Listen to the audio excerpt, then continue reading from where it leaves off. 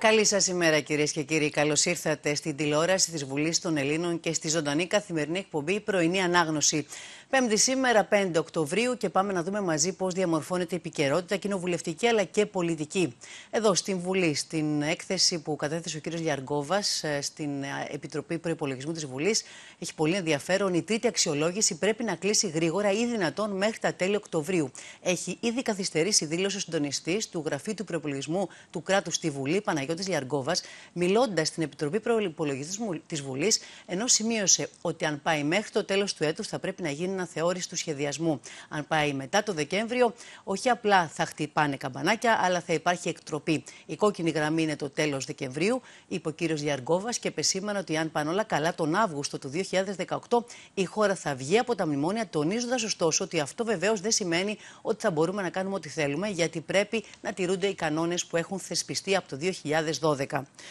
Σε άλλο θέμα τώρα που απασχολεί χθες στην αρμόδια επιτροπή της Βουλής που διερευνά τα σκάνδαλα στον χώρο της υγείας, ερώτημα στην Επιστημονική Επιτροπή της Βουλής σχετικά με το αν η ενασχόληση της Εξεταστικής Επιτροπής για την Υγεία με το κελπνό συνιστά παραβίαση της διάκρισης των εξουσιών, καθώς η υπόθεση διερευνάται από τη δικαιοσύνη, θα απευθύνουν τα μέλη της Εξεταστικής Επιτροπής. Θα δούμε στη συνέχεια και ρεπορτάζ για αυτό το θέμα.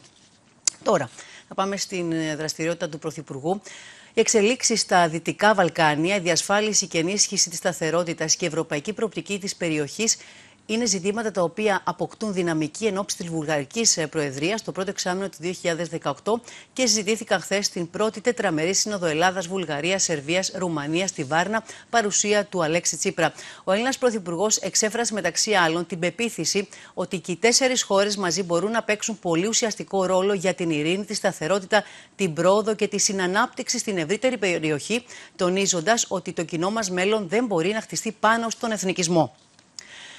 Στη Νέα Δημοκρατία τώρα επίθεση στην κυβέρνηση εξαπέλυσε ο πρόεδρος της Νέας Δημοκρατίας, Κυριάκος Μητσοτάκης, στην ομιλία του στο Μενίδη σε εκδήλωση για την 43η επέτειο από την ίδρυση της ε, Νέας Δημοκρατίας. Ο πρόεδρος του κόμματος τόνισε τη σημερινή κατάσταση στην Ελλάδα πως είναι αποτέλεσμα της μεγαλύτερης πολιτικής απάτης που έγινε ποτέ και αφισβήτησε την καθαρή έξοδο από τα μνημόνια, τονίζοντας ότι εκείνοι που το λένε έχουν δεσμεύσει τη χώρα με μεγάλα πρωτογενή πλεονάσματα και με μέτρα που θα επιβληθούν από το 2018 και μετά.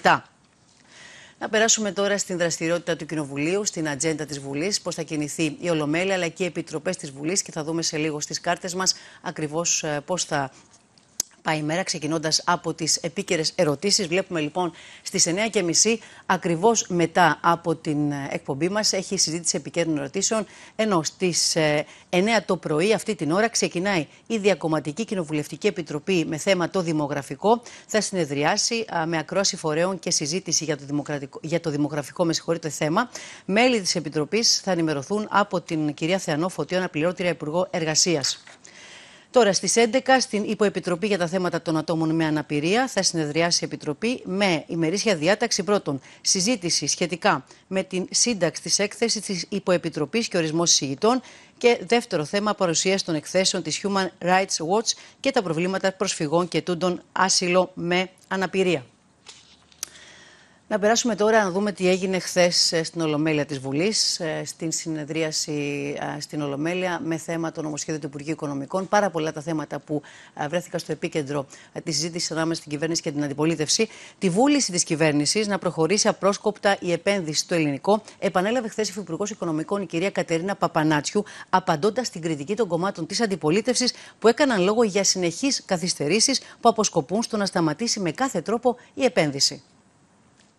Για την επένδυση στο ελληνικό επανέρχεται το θολό τοπίο, τόνισε ο κοινοβουλευτικός εκπρόσωπος της Δημοκρατικής Συμπαράταξης Ανδρέας Λοβέρδος, πυροδοτώντας έναν κύκλο τοποθετήσεων για το θέμα, ενώ από την πλευρά της η κυρία Παπανάτσιου επέμεινε ότι με την κήρυξη αρχαιολογικών χώρων από το Κεντρικό Αρχαιολογικό Συμβούλιο, προτεραιότητα είναι να προχωρήσει η επένδυση. Το φλικ φλακ πάει για χρυσό μετάλλιο είναι το ελληνικό, όπου κάθε 1,5 χρόνο, στα τρία χρόνια διακυβέρνηση ΣΥΡΙΖΑ, έχουμε και μία ανάποδη κυβίστηση. Με αυτές τις καθυστερήσεις ο ΣΥΡΙΖΑ θέλει να αποφύγει να μπει μπουλτόζα στη συγκεκριμένη επένδυση. Βγαίνουν πάρα πολλά δημοσίευματα, πρέπει να το ξεκαθαρίσουμε και πρέπει το συντομότερο δυνατό, το λέω σε εμάς την κυβέρνηση, να δημοσιοποιήσουμε την απόφαση. Διότι αυτή τη στιγμή υπάρχει δημοσιο...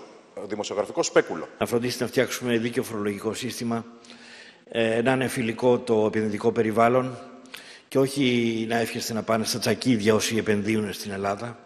Είναι λοιπόν αποφασισμένη αυτή η κυβέρνηση να δώσει τη μάχη της νομιμότητας και της τήρησης όλων των διαδικασιών σε όλα τα επίπεδα.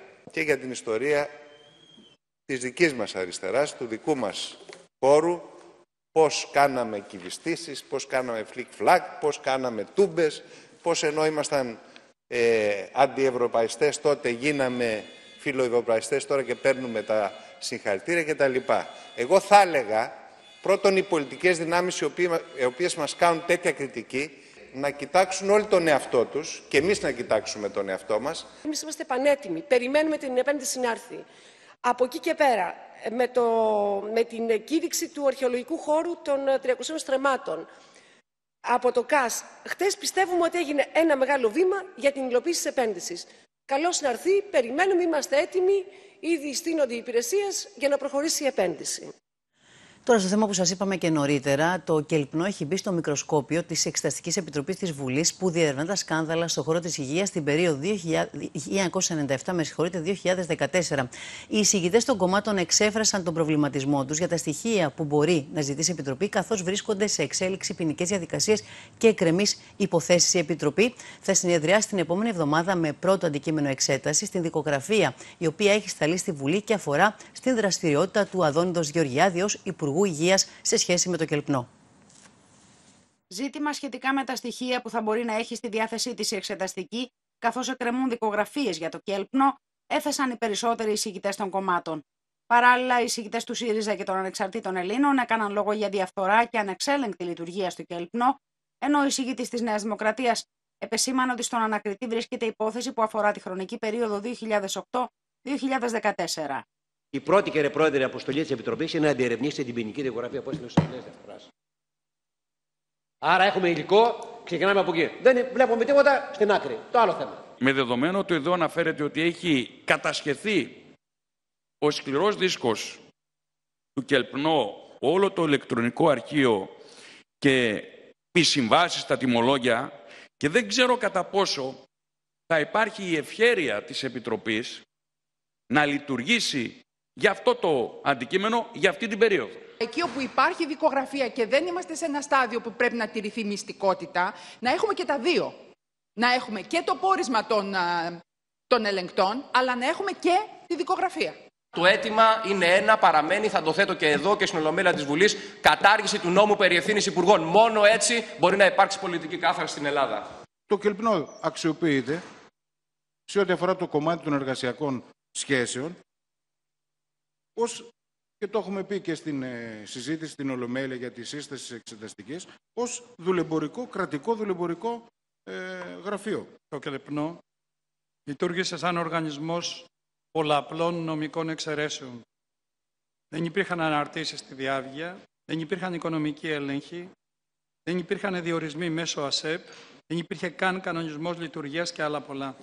Δυστυχώς το Κελπνό, από την αρχή της δημιουργίας του μέχρι και σήμερα, λειτουργούσε σε ένα καθεστώς αδιαφάνειας, το οποίο προφανέστατα οδήγησε στην κατάσταση που αντιμετωπίζουμε σήμερα. Το Κελπνό που από το 1998 που δημιουργήθηκε ε, φαίνεται να λειτουργήσε ως μια μεγάλη ρουσφετομηχανή ε, του κράτους έξω από διαδικασίες, ε, προσλήψεις ε, εκτός ΑΣΕΠ, διαφημίσεις ε, σε ημέτερους ε, χωρίς κριτήρια.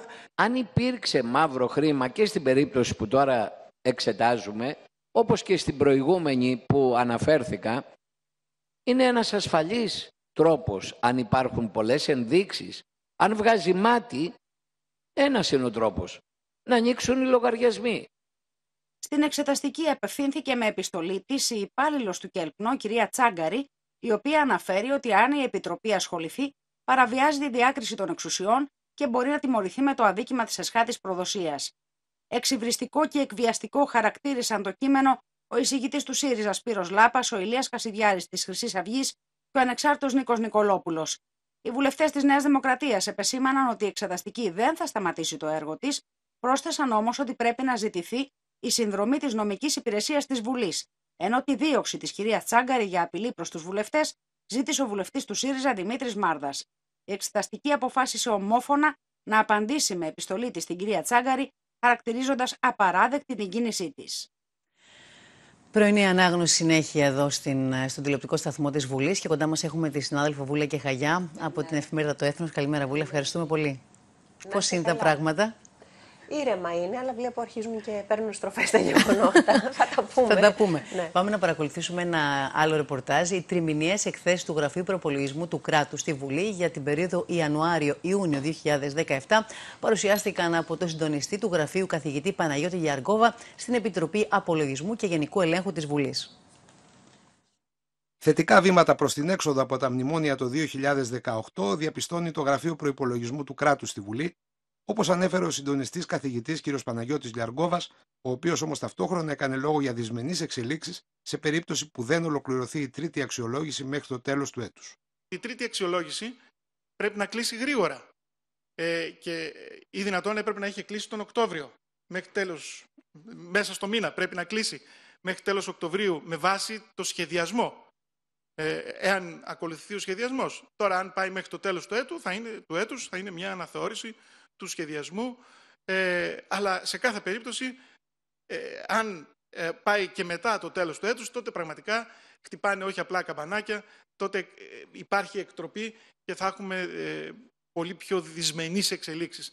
Σύμφωνα με το συντονιστή, η ολοκλήρωση του προγράμματος και η οριστική έξοδος στις αγορές έχουν ως προϋποθέσεις την υλοποίηση των μεταρρυθμίσεων στο δημόσιο και την αγορά εργασίας, τη διασφάλιση της μεγέθυνσης που ήδη αποτυπώνεται στα στοιχεία της οικονομίας τη διατήρηση της κοινωνικής συνοχής και της πολιτικής σταθερότητας. Εκ μέρους του ΣΥΡΙΖΑ, ο βουλευτής κ. Δημήτρης Μάρδας τόνισε ότι ο προπολογισμός του 2017 εκτελείται χωρίς σημαντικές αποκλήσεις, ενώ για το ζήτημα της διευθέτησης του χρέους επεσήμανε ότι εξωγενείς παράγοντες όπως η διαφωνία Διεθνούς Νομισματικού Ταμείου και Γερμανίας καθυστέρησαν την εξειδίκευση συγκεκριμένων μέτρων. Έφερε ως παράδειγμα το ελληνικό για να καταδείξει τις διαχρονικές παθογένειες της πολιτείας στον τομέα των επενδύσεων από το 2002 είναι ένα νεκρό αεροδρόμιο. Αν λοιπόν υπήρχε ένα κράτος το οποίο λειτουργούσε σύμφωνα με κάποιες προδιαγραφές που όφιλε να λειτουργεί, το ΚΑΣ έπρεπε να είχε κάνει αυτή την έκθεση το 2003 έτσι ώστε ο επενδυτής και η προκήρυξη να ενσωμάτωνε μέσα όλα αυτά τα στοιχεία τα οποία ήθελε να ενσωματώσει το ΚΑΣ. Ο βουλευτής της Νέας Δημοκρατίας Χρήστος Ταϊκούρας έκανε λόγο για δυόμιση χαμένα χρόνια στην οικονομία, χαρακτήρισε την κυβέρνηση εχθρό των επενδύσεων και προέβλεψε καθυστέρηση στο κλείσιμο της τρίτης αξιολόγησης και νέα μέτρα το 2018. Προφανώς δεν θα έρθουν ξένες επενδύσεις, γιατί η φορολογία έχει αυξηθεί, οι ασφαλιστικές φορές έχουν διωγγωθεί, η πιστοτική σύρρυκνο συνεχίζεται, η αξιοποίηση του ΕΣΠΑ είναι αργή και χαμηλή, διαρθρωτικές αλλαγές που θα βελτιώνουν το επιχειρηματικό περιβάλλον δεν υλοποιούνται Εκ μέρους της Δημοκρατικής Συμπαράταξης, ο κ. Γιάννης Κουτσούκος χαρακτήρισε υπεραισιόδοξο το στόχο του πρωτογενούς πλεονάσματο στον προπολογισμό και έκανε λόγο για αντιπαράθεση λογιστικού χαρακτήρα μεταξύ κυβέρνησης και Νέας Δημοκρατίας. Η χώρα μας έχει δεσμεύσεις και άρα αυτό το success story του τέλους των μνημονίων είναι μια συνέχεια των παλιών ψεμάτων. Ο βουλευτής της Χρυσής Αυγής κ. Καρακώστας κατηγόρησε την κυβέρνηση ότι οδήγησε την κοινωνία σε ραγδαία φτωχοποίηση. Καμία έξοδος από την εποπτεία δεν πρόκειται να συμβεί το 2018. Αντίθετα, θα απαιτηθούν νέα σκληρά μέτρα από τον ελληνικό λαό, προκειμένου να επιτευχθούν εκείνα τα οποία η κυβέρνηση έχει δεσμευτεί έναντι των δανειστών.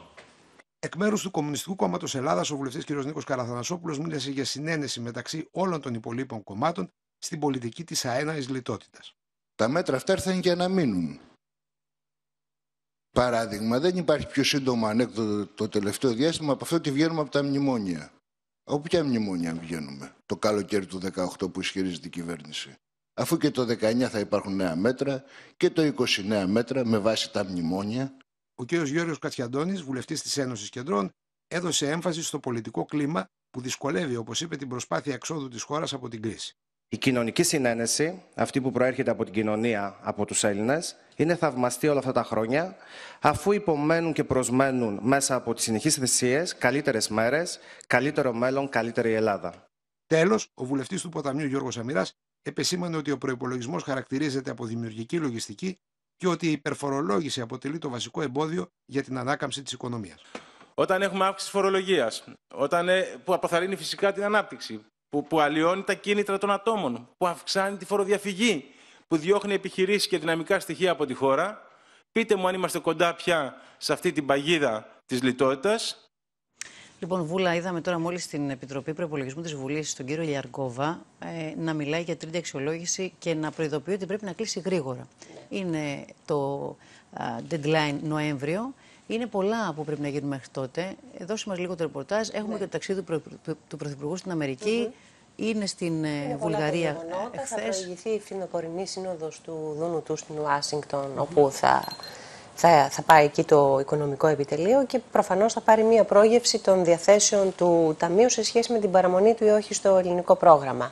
Θα είναι ενδεικτική η παρουσία της ελληνικής πλευράς εκεί, αλλά και τα συμπεράσματα που θα βγάλει το, ο κύριος Τσακαλώτος, ο κύριος Χουλιαράκης και αν δεν κάνω λάθος θα είναι και ο κύριος Χαρίτσης, ο αναπληρωτής Υπουργός Ανάπτυξης μαζί, σε σχέση με το πού το πάει το δούνου του, γιατί αυτό είναι καθοριστικό. Όπως είπες και εσύ, θα ακολουθήσει το ταξίδι στην Αμερική του Πρωθυπουργού, ενδεχομένως να συμπέσουν και για κάποιες μέρες. Έχουμε έναν εμπλουτισμό του ταξιδιού αυτού.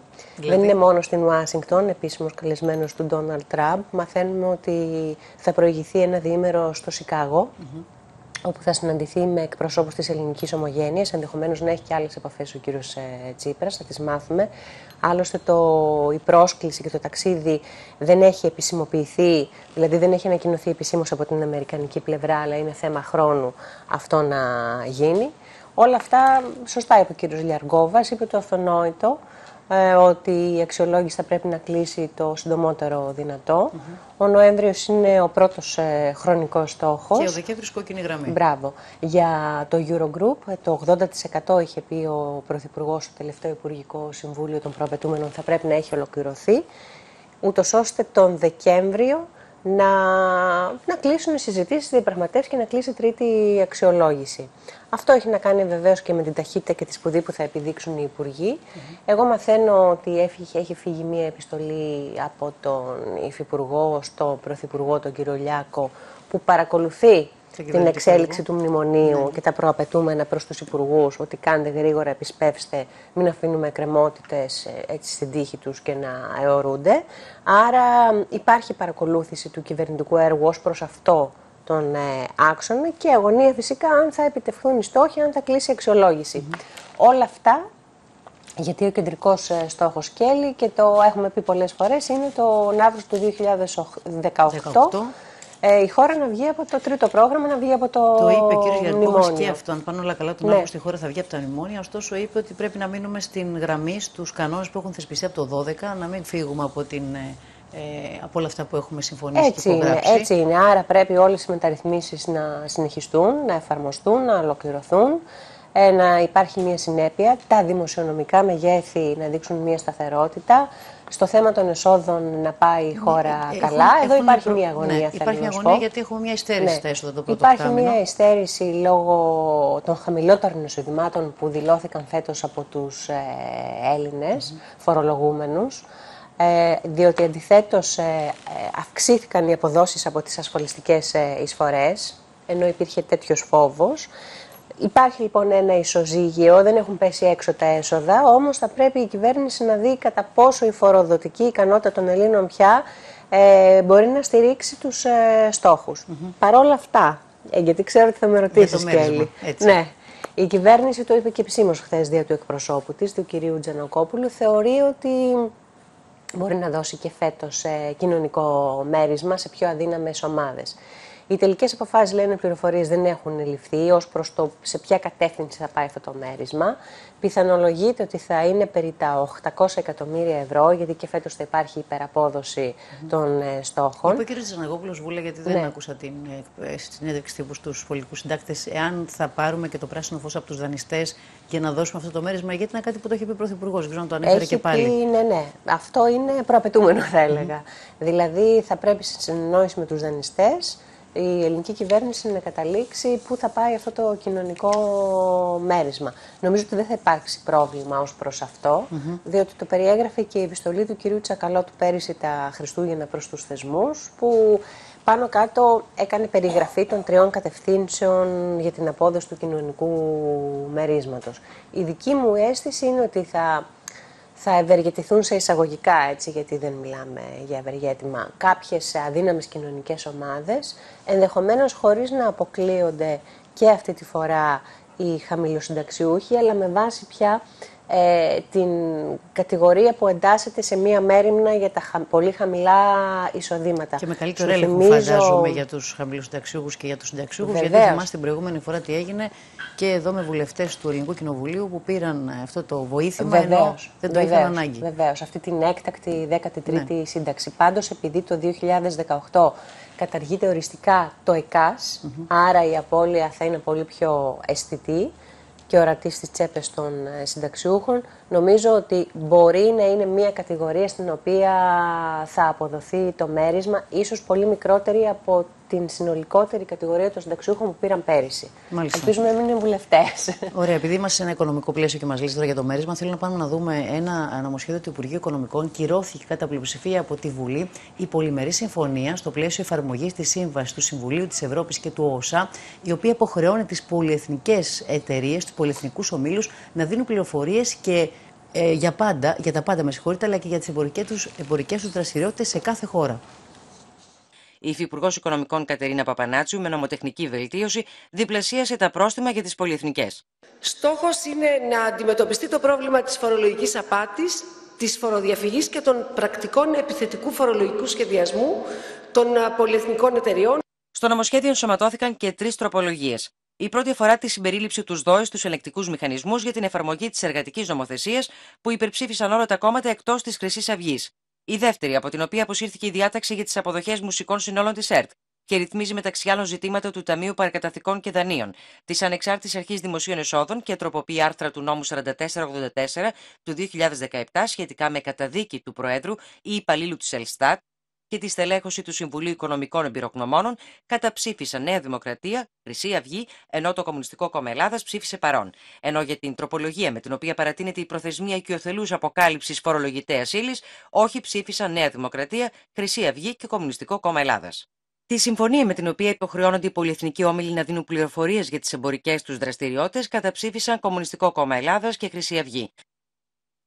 Λοιπόν, ε, είδαμε και τι έγινε χθες με το νομοσχέδιο του Υπουργείου Οικονομικών. Να μείνουμε λίγο σε αυτό, Βούλα, γιατί χθες ε, και το θέμα της λίστας Λαγκάρντ το έχουμε ξεχάσει λίγο αυτό το θέμα, ναι. αλλά υπάρχει και γίνονται και έλεγχοι. Ε, ήρθε στην Ολομέλεια της Βουλής. Οι έλεγχοι συζητούνται και καμία υπόθεση από τις λίστες δεν πρόκειται να μείνει στο χρονοντούλαπο. Διαβεβαίωσε στη Βουλή η Υφυπουργός Οικονομικών, η κυρία Κατερίνα Παπανάτσιου, τονίζοντας πως από τις 300 36 υποθέσεις του 2015 και του 2017 έχουν ολοκληρωθεί 200. Παράλληλα, έγινε αναφορά και στις εισπράξεις ύψου 500 εκατομμυρίων ευρώ από την οικειοθελή αποκάλυψη της φορολογητέα ε, ύλη.